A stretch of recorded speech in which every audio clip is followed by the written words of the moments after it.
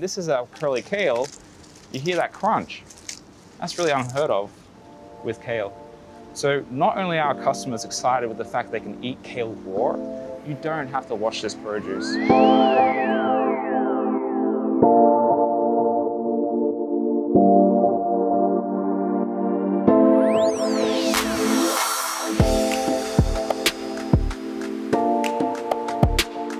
We've got everything here, pretty much everything that uh, belongs on a, on a dinner plate.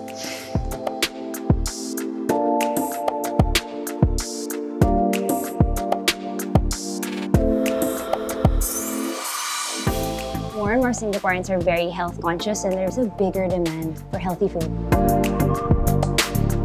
There are definitely products out there that are on trend. The trends is actually mostly organic products and of course uh, natural products.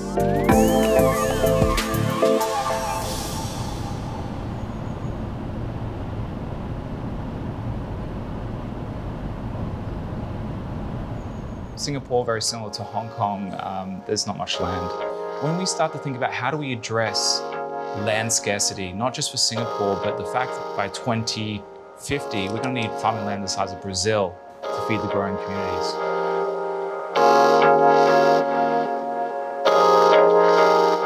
It's a lot of deforestation. How do we reduce that down? I saw this as an opportunity for me to go in and, to make a change. Here I see sustainability physically happening by the choices that our founders make, by the choices that people make every day in the farm. The idea of Sustenir first came to me in 2012. I was uh, reading an article on Facebook, and our journey basically started in a basement. I learned that not only can we grow impossible products in impossible places, but we can also manipulate the products. Traditional farming, you're constrained by the land space that you're growing on, just one level. Indoor farming, which is what we do, that can be done both linear and vertical. This form of farming is required to bring good quality produce to the community here.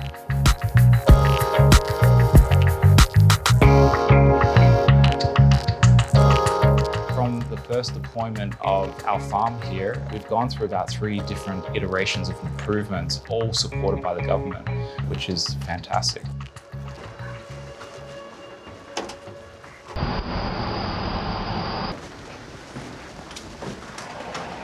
We actually grow these products using absolutely no soil. It's completely soilless.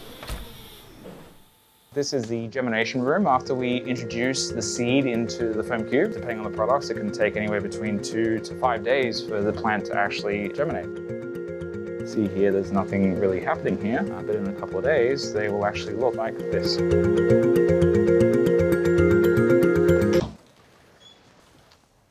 We've now entered into the nursery section. This is where the magical happens. Our head of nursery is doing plant inspection. Um, this has just come from the completion of the germination phase. We take them out, we allow them in ambient light for about half a day, just so they don't get a shock factor when we move them into nursery phase two, because the light under there is quite intense.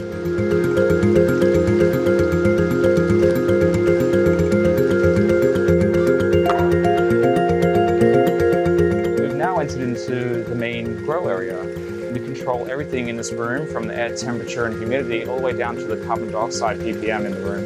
We've even gone so far as to creating our own lights, which we've named Helios, which is actually the sun god. The system that we're using here is called nutrient film technique. We actually dissolve uh, the macro micronutrients into the water. It makes the plants not have to fight, not have to grow these great big root systems to find nutrition. So instead of growing downwards, they spend all their time growing upwards. That's how we're able to reduce down growth cycles as much as 50%.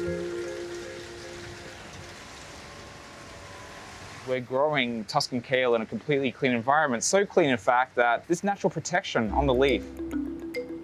So it's free of heavy metals, free of smog, free of pesticides. You don't have to wash this produce.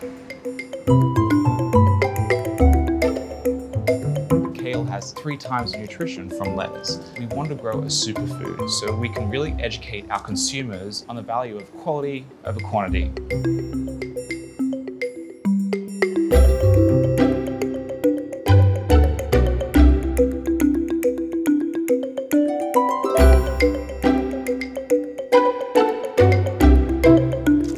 You hear that crunch? That's really unheard of with kale.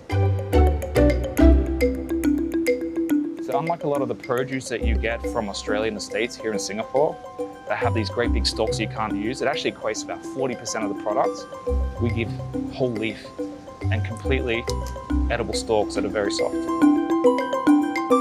By changing the characteristics of the plants, we can actually make products more palatable for our demographic.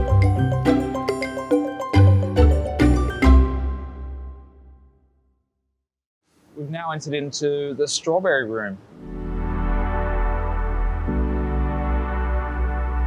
We tried introducing bees into the space and it wasn't so successful on the first try.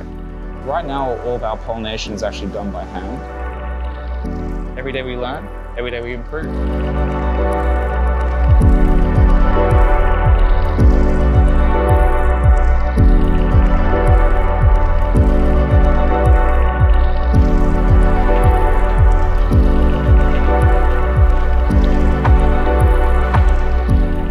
Also have here are our cherry tomato mother plants.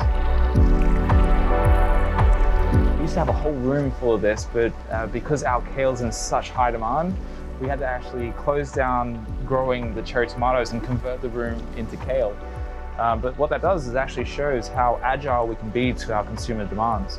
Doing all this to cater to the products we're growing within each one of the rooms.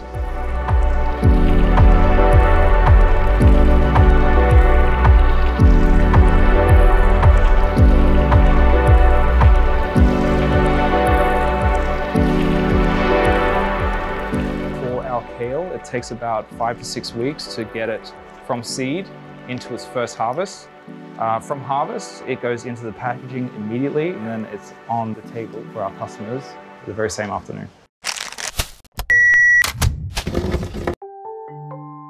What makes Sustenir stand out is that when you actually walk inside the grocery store and you pick up a pack of Sustenir produce, you are empowered to make good choices.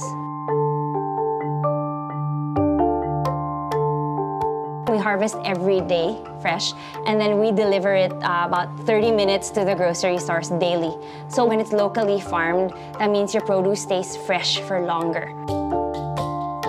We want to change food for good and we also want to make sustainability convenient to everyone. So we're about building a community of people who are taking a step closer together to a better world.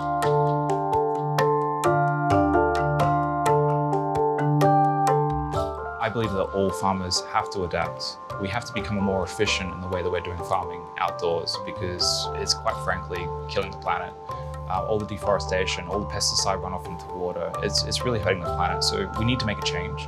I think it's by leading by example, we will create the technology to help them and it is going to add value to not just their livelihoods, but also their bottom line as well. If we can make them more efficient, why wouldn't they change?